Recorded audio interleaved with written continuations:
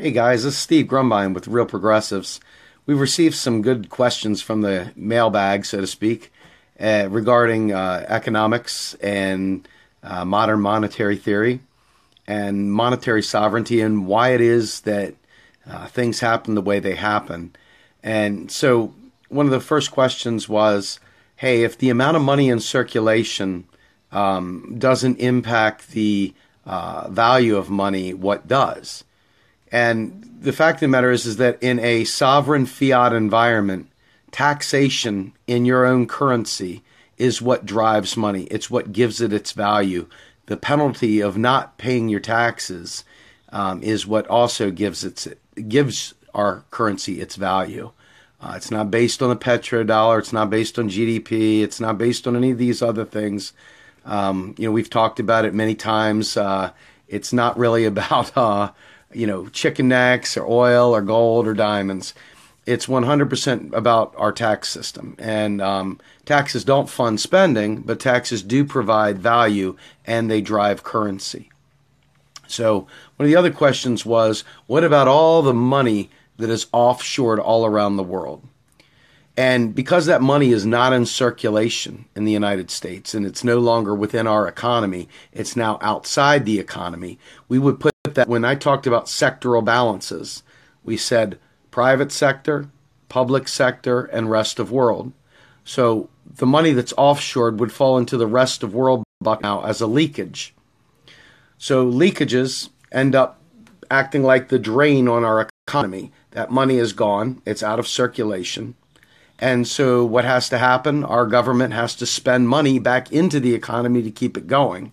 Um, and so that money, typically the offshored money, would be taxed. Not all of it would be taxed. A lot of it would come back and be, you know, spendable cash within the system.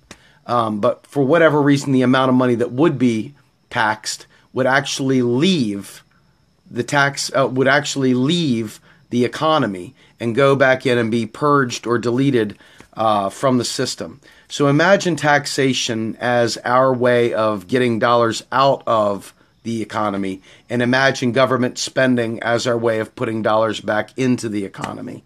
Um, I hope that helps. The next question was if we can just print our way out of debt and we can just spend money, why is it that they would stand in the way of us having uh, Medicare for all? Why is it that they would stand in the way of us having uh, free college? What would that do to the value of the money outside this co- uh, country um, if we went ahead and spent on the 99% as well? Well, first things first, the amount of money in circulation is not really the concern as long as it's been spent into the existence on uh, real goods and services. Um, think of money as just a, a, way of keeping score. Okay, it, it's not necessarily hey I've got this thing of gold that I can build a wall with and carve it into a golden calf. It's really just kind of like hey I got chips at a poker table. You know, it's just keeping score. It's like a scoreboard in a football game. Um, so, you know, at the end of the day, you know, people measure themselves by who's got the most chips. And um, so, really, nine times out of 10, what I've found, and there's a great article that I can post here shortly um, that talks about how the entire motive behind uh, these austerity measures and uh, a lot of the neoliberal uh, thinking is the gap, the whole gap, and nothing but the gap. And that gap is between the wealthy and the poor. Because if everybody had the same access to everything that they did, then who would really be winning, right? And they really want to win. They really want to be able to feel like they're ahead. Um, so the wealth gap is what drives a lot of that behavior. Then there's another thing inherent in our the underring of people for whatever reason, we have this bootstrap mentality. Maybe it's Calvinism, maybe it's the pilgrims still affecting us to this day. I don't know what it is. But there is an overarching thing that I can take care of myself. I don't need your help. I don't need your government's help. Um, and so it's really more psychological than it is practical. Um, people have been brainwashed to believe that government services are bad, private sector that rapes you with uh, you know expenses and is trying to rob you of your money because they have a profit motive. Um, that basically is good somehow or another. well, real progressives are going to try to demystify and debunk that forever. That's going to be our goal. One of our economic goals is to shed the whole Calvinistic work ethic as the driving force between a person's worth, the worth of our currency, the way we view spending. Um, humanity as a whole deserves better. And so, one of the things that we're going to peel into is, you know, Ronald Reagan had incredible amounts of deficits. Ronald Reagan ran incredible deficits, ran up the debt immensely, right? This debt thing that we talk about. And the debt that our government runs up, it's not like we go to Home Depot, work out the card, stroke it down, and put a war on a credit card. That's moronic thinking, and people that say that are moronic. Um, some people just don't know better, but the people upstairs that are peddling it, they're counting on you not being very bright and, and repeating that. So when you see the memes out there saying Bush put the wars on the credit card, you know they're lying and you know they're not very bright and you know they shouldn't be trusted for economics. But the point I'm making is is that what what Ronald Reagan did was took modern monetary theory, the thing that I'm talking about, and he went ahead and did it in a very fascist, nationalistic, right wing way. He invested all the money into the military industrial complex. So, who works in the military industrial complex? A lot of poor people, right? A lot of poor people that couldn't get a job any other way, um, that wouldn't have had a good start in life. So they went ahead and they decided they would sign up for the military. They get some benefits. They go to school, whatever. The you know collateral is their life, right? So the poor fight our wars, and the poor have the carrot dangled in front of them that they can go to college with the GI Bill, and you know they get all this discipline that they didn't get at home, and blah blah blah. Right. So what we're offering up is that Ronald Reagan wasn't so much wrong in his economic plan in terms of spending, because we did see some great things happen. We saw an awful lot of horrible things happen, but we saw some great things happen too. So we got to be truthful about this so we can actually get to the right remedy. We can't just be a partisan hack and say something stupid that's economically illiterate. So one of the things Ronald Reagan did was spent like a friggin' drunk man right into the military-industrial complex, keeping up in the gold, uh, the cold, the Cold War. Um, what that, did that do? That built an entire industry that brought money. That money was all new money. There was no corporate credit card that the government was spending to buy tanks and stuff like that. Those are all private contractors out there. Like you, many of your neighbors probably work for these places. They have good military industrial complex jobs that kill a lot of people in the end. But the point is, is that that gives jobs, right? So that's the approach they took.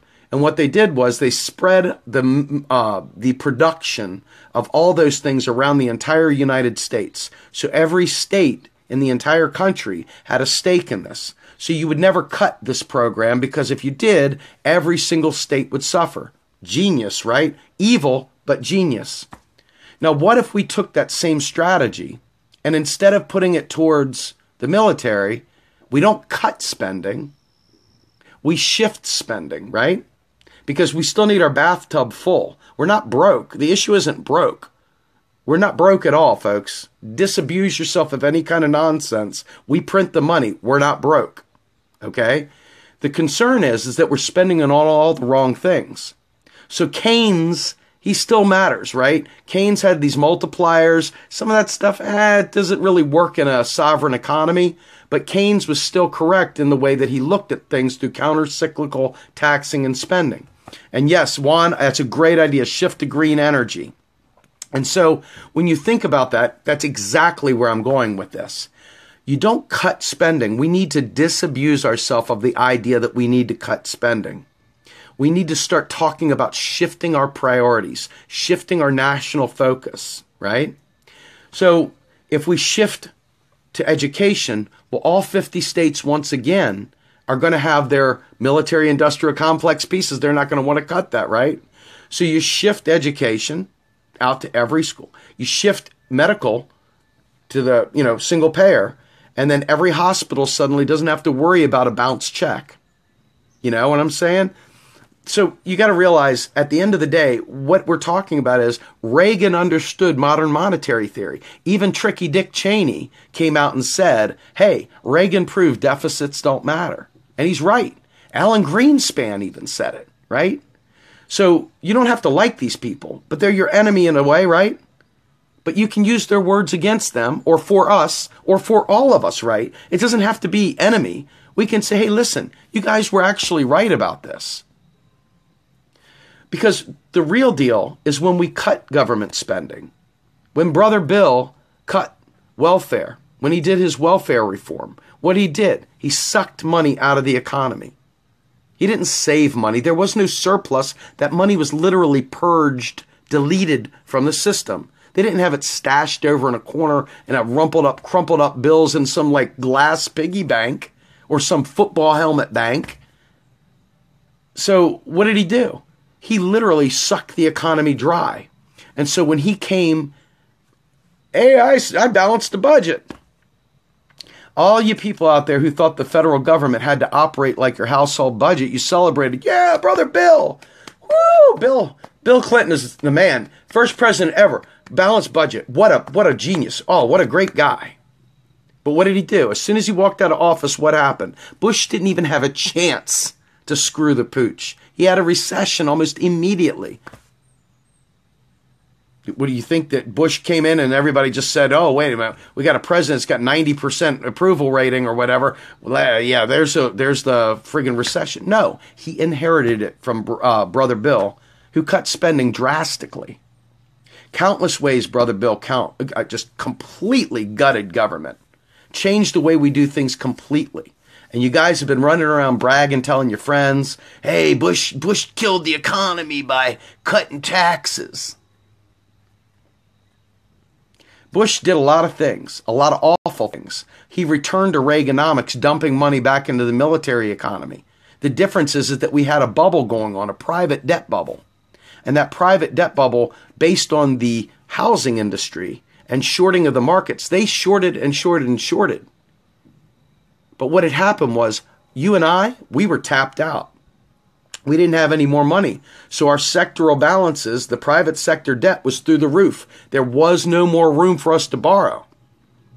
And we didn't have enough money because we were so maxed out on living La Vida Loco that all of a sudden the entire market collapsed. We were tapped. We couldn't borrow anymore. We had no loose cash to pay our bills. So all of a sudden, everybody had to constrict and lay off. Why? Because the funnel that brings the money in, the sovereign money, the government, the federal government, had stopped spending back in Bill Clinton's time. And uh, be fair, Bush, by lowering taxes, kept the economy, kept the tub fuller by not pulling more money out of the economy. Because again, taxes don't fund spending, right? Taxes just simply are a brake or a gas pedal on the economy. They use it to when it's heated up, they go ahead and raise taxes. When it's freaking dying, they lower taxes, and all of a sudden it brings the things back up. It's that simple. But money has to be driven, right? So if we don't have some sort of a uh, really awesome technology like the internet to hide the woes of the world while our private debt goes through the roof, then what you see is recessions.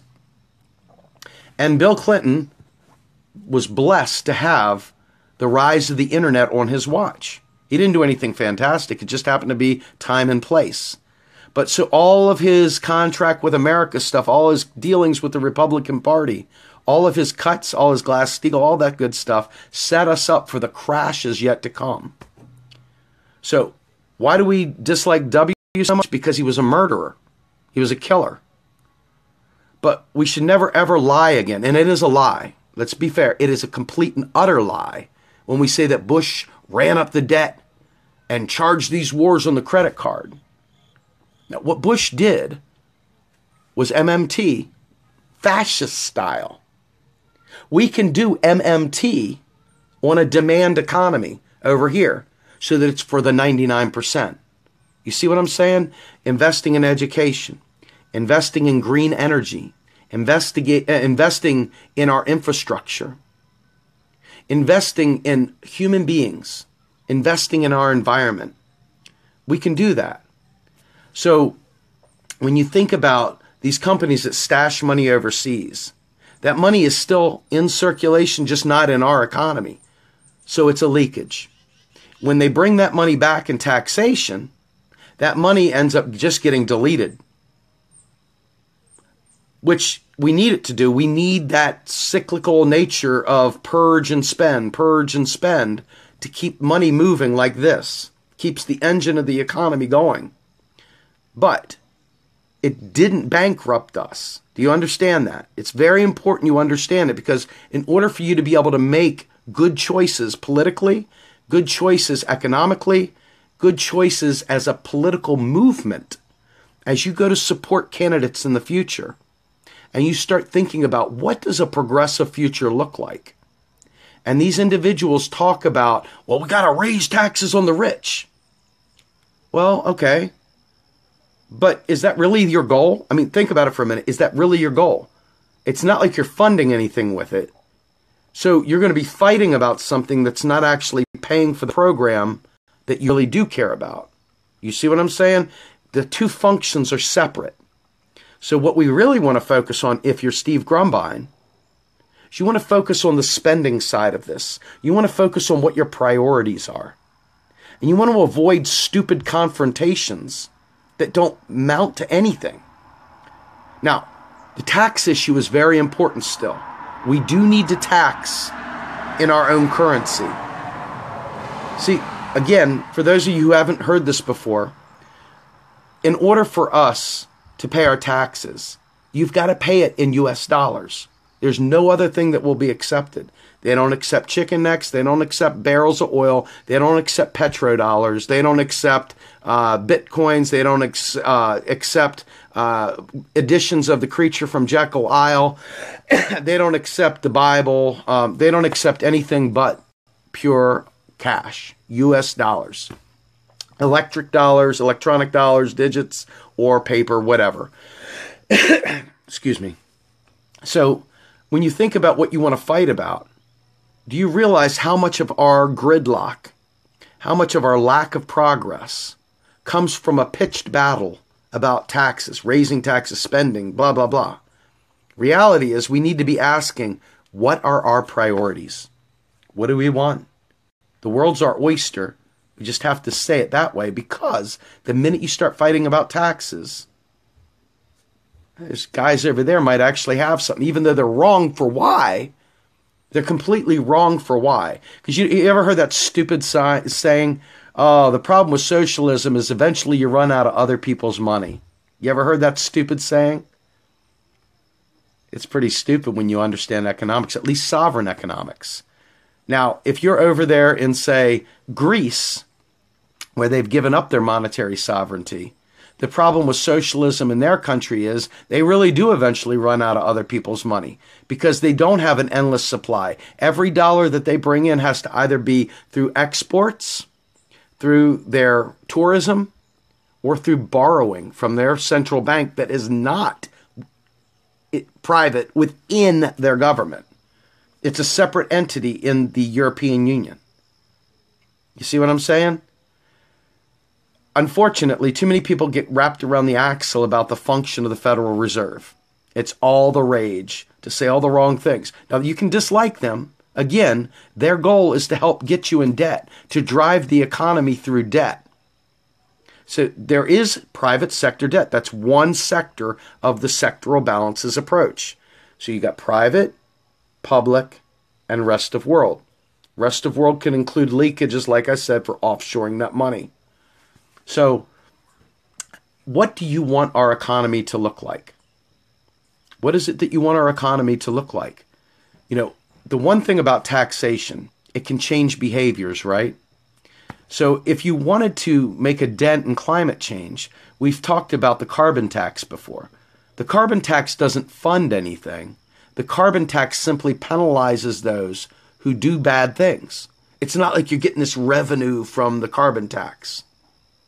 You see what I mean? Those taxes are deleted, they're purged from the system. But that company pays the price because they can't create dollars. They have to borrow dollars or they have to sell something to make dollars. But they can't actually create dollars because they are not a sovereign entity. So, carbon tax is a Pigovian tax, changes behaviors. Wall Street speculation tax. Do you think we get revenue from that? Do you think the revenue from Wall Street speculation tax funds all these goods and services that Bernie Sanders or Jill Stein recommended? Do you think that that Wall Street tax funds those things? Nope. Pigovian taxes, by very definition, tend to be very temporary because they alter a behavior and eventually people stop doing said behavior and the revenue dries up, right? So if the revenue dries up because people change the behavior, what happens to the programs they supposedly funded? oh, wait a minute, it's that debt thing again, right? It's the deficit. Are you starting to see how ridiculous most of your thoughts have been over the last however long you've been alive talking economics? Once you start realizing this is really simple stuff. I mean, it's so simple that a caveman could do it. The problem is not the simplicity of it. The problem is, is that you guys still believe in Santa Claus and the Easter Bunny and all kinds of other myths and because you've been taught them all your life, like taxes fund spending, you can't break free from it because it's got a lock on you. And you have fought tooth and nail with people for years about this, haven't you? For years, you have slugged it out. God damn it, we got to raise taxes. You son of a bitch, you friggin' selfish. This is the cost of living in society. I did it too, so that's why I know these things, right? But when you think about it, all you did was marched in place. You never got anywhere because taxes don't fund spending. So you got to ask again because I don't want to be doing this in two years, much less four years or eight years. We need to get this shit down today. We need to start getting this shit down now so that when we have the next batch of politicians, when they say moronic stuff, you can go, dude. Dude, man. Give him the give him the look. That look that tells him you're not really pitching with a full deck here, man. You're not really doing a good job here. You're not really up to snuff. I'm not sure I'm going to vote for you. I don't think you got it going on. You're going to kill our economy with stupid. Now, here's the big deal. The federal government is the currency issuer because the Federal Reserve is independent within the government. However, our states are what they call currency users.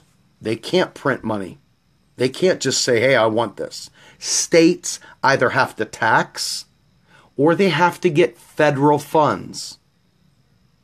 Sometimes they're encumbered, meaning they have something they have to do with those funds. Sometimes they're just, hey, here's a block grant for X, Y, and Z. Now, for those of you who have heard from me before, you know that my belief is that the federal government should provide the states with a block grant based on per capita and based on certain escalators based on uh, different demographics and people that have um, had issues in the past, maybe jobs have left those areas, etc. Because the primary motivator of companies moving from state to state is taxation. They're not necessarily looking for shipping lanes anymore. I mean, some of those things are good. They, hey, they got a port there. We can receive our products and services from there. Hey, they we're near the oil fields. Hey, we're near this. Hey, we're near that. But the reality is, most of them are looking for tax deals, right? They're looking for the best tax deals possible. Hey, are they going to build us our building if we move our plant there? Hey, what's the labor rate like? Are they cheap down there? But if our federal government provided block grants to these areas, the states would be competing at an even level. So there would be no bad state other than the bad governance of the people they elect. And your 10th Amendment would be in place because the 10th Amendment would allow them to disperse those funds according to the will of their constituents. See? The difference is, that instead of having to bleed people dry in areas, because what happens? Think about it. In Detroit, you used to have all these jobs, you used to have industry and everything else. Well, the industry left. Then the wealthy people left. And then what was left? The poor people, the people that didn't have an education, the people that couldn't flee. And then you have what looks like Syria. You have a war zone looking area, completely destitute, completely abandoned, without hope. So we've got an awful lot of things that we can do once you guys understand economics and you stop telling people we're broke. Seriously, stop telling them we're broke. And when you think about Social Security, for example, right?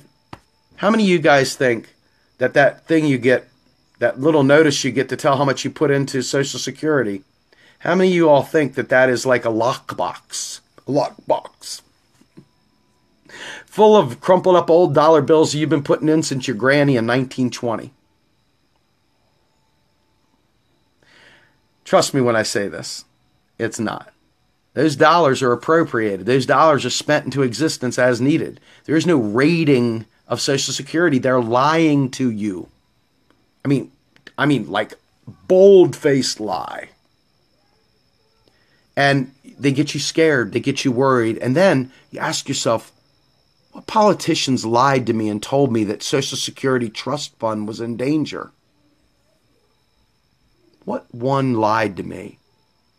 Oh, wait a minute. You mean it's not just the Republicans, it's the Democrats lying too?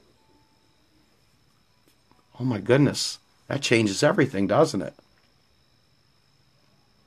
You mean they're all liars? Yeah, yeah, I think so. Pretty sure they are. So when they talk about having to cut Social Security or they have to privatize it. You think that might be a little neoliberalism creeping into our economics here at home? Ask yourself for real. Do you really think Social Security is bankrupt? Do you? So, taxes are often used to solve for income inequality at the federal level. They they raise them on the highest end and they you know cut them at the low end, and you got a progressive tax base, right? But what if I told you that that's not really the greatest way of solving for income inequality?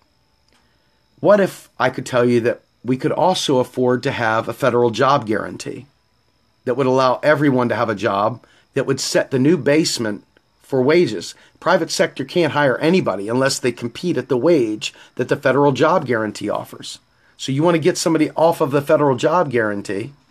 Well, you got to give them a better wage and a better uh, benefits package. Otherwise, guess what? You're not getting them. And the good news about that is it creates a bit of a employment scarcity issue, right? So all of a sudden that will drive wages up. But while it drives wages up, people will have more disposable income in their pockets, which will mean that those businesses, the ones that are good, the ones that are offering a service that matters, they will suddenly have a pool of people that can actually buy their products. Think Henry Ford back in the day. You know, people need to have a wage to even buy my damn car, right? You can't buy my car if my employees don't make money. Labor, labor first here, folks. A demand economy spending on the people. So, one final thing they said so, what about the tax dollars going to Israel? Again, do I have to even answer that question now? Now that you've heard everything I said, do you think your hard earned tax dollars are going to Israel?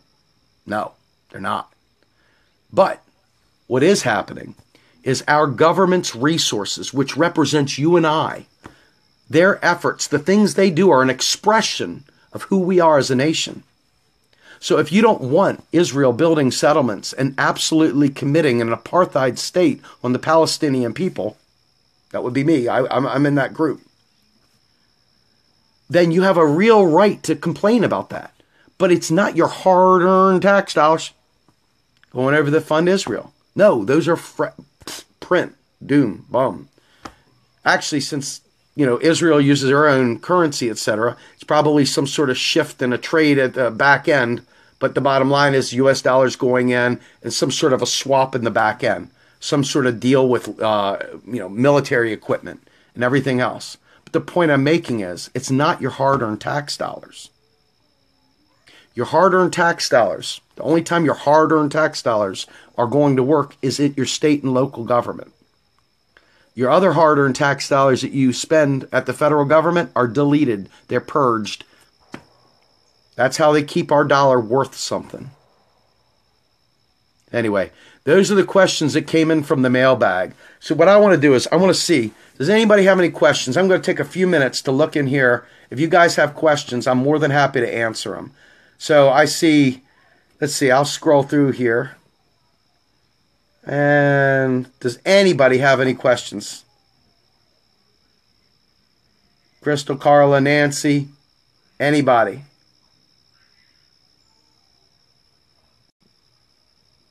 Let's see. As much as I like you, Steve, if you really believe you're working for fairness in 2020, you have missed the boat. What does that mean, Kathy Bassett? Uh, let's see. Bernie proved that Social Security wasn't broke. You're absolutely right. James, I make too much sense. Thank you, sir. I am going to give you a like for that. Uh, I need a beard for that hat. All right, I'm going to keep looking, see if we got any questions here. I do, but you burnt my mind. All right. All right, folks. Well, look, if you guys think of any questions that you want to ask, uh, how do you feel about the threats back and forth with Russia? Well, first of all, you got to know that I believe a lot of this is pitched. I believe that there's things going on that are beyond our understanding, that unfortunately, our power structure is set up to try to manipulate us into being rabidly angry and ready to fight. I believe there's a lot of stuff going on in the world that is set to, you know, this is Eurasia versus Oceania and all the other stuff. I really don't believe there's any reason for war whatsoever. I believe our United States government, our CIA, has gone in there and created more trouble in Syria, has created more trouble around the world, and has, in essence, been the spark to the tinder to cause many of these problems. So, what do I think? My suspicion is we're going to end up in some sort of a proxy war. I don't think we'll go head to head, but that's just my take on it.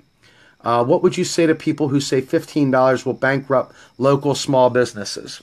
Well, first things first, what I would say is this when you have a federal job guarantee, like what I just talked about, instantly people will have more money. So the local small businesses, if you do a federal job guarantee versus the $15 uh, minimum wage, it will set a minimum wage, but it will have people with more money in their pockets. So when they're in those local communities, they will be spending into those businesses. That's the way this thing works because money has a natural helium effect.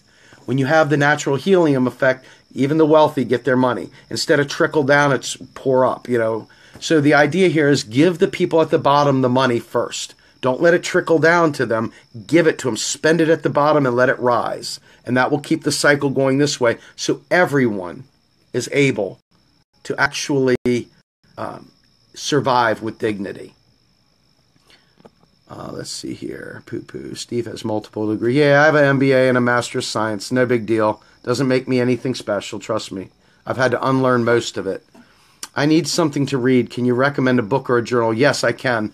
So there is a blog called New Economic Perspectives that Stephanie Kelton started. It's got some of the best writers around, like J.D. Alt, William Black, um, uh, L. Randall Wray, um, a whole host of individuals, uh, Joe Firestone, um, etc. And there's a Myth Fighter, which is Rodger Malcolm Mitchell, and you'll find Myth Fighter handles the monetary sovereignty school of thought and the New Economic Perspectives handles the modern monetary theory school of thought.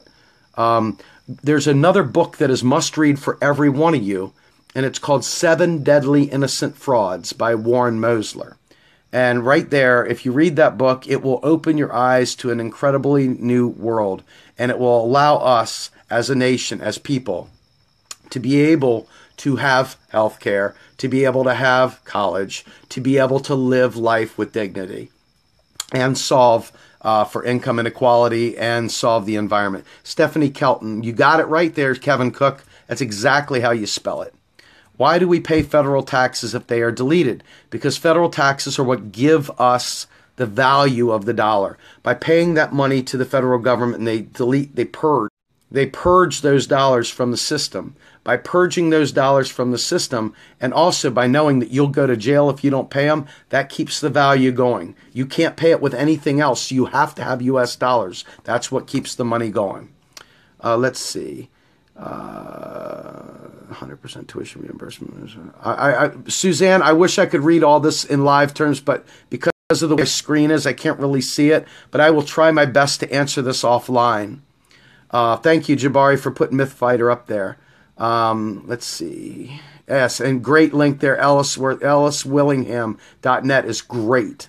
Um, yes, money is a cycle, circulation loops. Think of yes, great, great. Um, let's see. Go back to the other post, Steve. Offer yes, I do offer a lot of links. I always do. You need to write a short summary of what you have just shared as 101 economics of MMT, especially state level spending capacity. People may get it finally. Then you're right. Um, that is exactly correct. I think the thing that made it all click for me was when I finally realized that we print the money. Money isn't intrinsic. It's not like there's some like that vault somewhere that just has all the money and it's just a static amount. See, back, back in the day, you had a pile of gold and it was a pie. And you know, you remember the old pie charts? You would look at all the slices you know, and it's like, hey, if we slice it further, that gold is going to be worth even less. And that's where that quantity of money theory came in, right? Well, since we got rid of the gold standard, it's really now based on products and services. Do we have something to do? If you see a junked up bridge, we can pay to have that fixed. Now, the state governments, because they're strapped for taxes, a lot of times you'll see states struggling mightily. And then the worst thing, and this is what infuriates me, is unfunded federal mandates when the federal government could easily fix that. So, um, but um, Miss Scora, the the answer is sectoral balances, and I will definitely post a link for that. Let me see here. I'm going to go up here see if there's anything else. Can I make a graph for people that are not good at math and stuff? As a matter of fact, we have a graph that shows the sectoral balances. And it actually shows where the federal spending cuts and rises, it shows where private debt rises, and it shows where recessions hit. And it shows each one of them. And guess who put it together? Stephanie Kelton. So um, we've kind of co opted that to write a little bit in there. We've got a meme of our own. I'll be happy to share it into here. If, if one of my admins that's watching can find that meme, go ahead and pop it in there. If not, I'll do it later. Um, but it's it's really it's really simple when you start thinking about if we have full employment if you know that's the only time you start thinking about cutting spending is full employment or if we're a net exporter in other words we're we're bringing money into the country because we're selling goods and services and we have full employment then all of a sudden government spending would kind of be redundant and at that point in time you probably want to slow that down because otherwise your economy would overheat. So you see, when people try to say we can just print forever, when they just say, oh, yeah, they're just saying print whatever, that's not what I'm saying. So you know they're lying, right? I would say they're ignorant, but they don't even ask me the question. They just, they just, yeah, what are you saying? Yeah, they, whatever, right?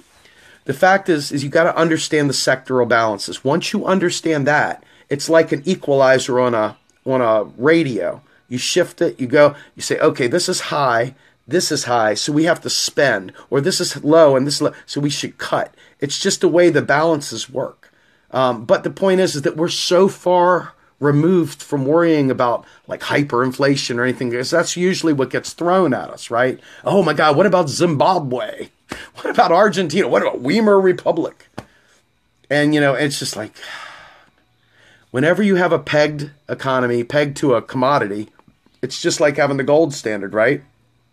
The more dollars you spend, the more that slice of pie gets shrunk and the less it's worth. And then all of a sudden you get hyperinflation. There's all kinds of things that go into that. And it takes an incredible amount to get to where hyperinflation happens. I mean, it's an absurd thing that would make it happen. And in this country, we have tried, we have done QE, which never makes it to the public. Quantitative easing is just an interbanking dollar deal where they're swapping where debt goes. It's not really ever hitting the real people out here in the in the world, right? So the only way for money to ever make it into the economy is through credit, through exporting, or through our government spending. And since we have some fetish, some bizarre fetish of cutting spending, well, there you go. Now you know why we're struggling.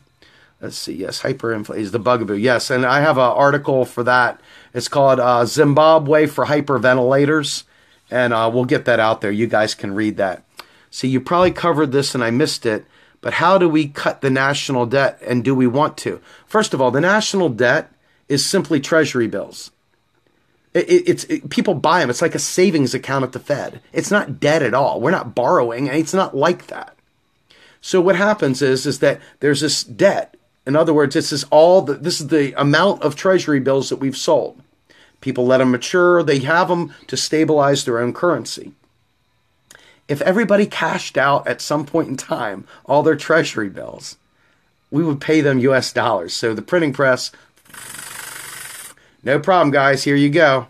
We can never go broke on debt denominated in our own currency. We can't. It's that simple.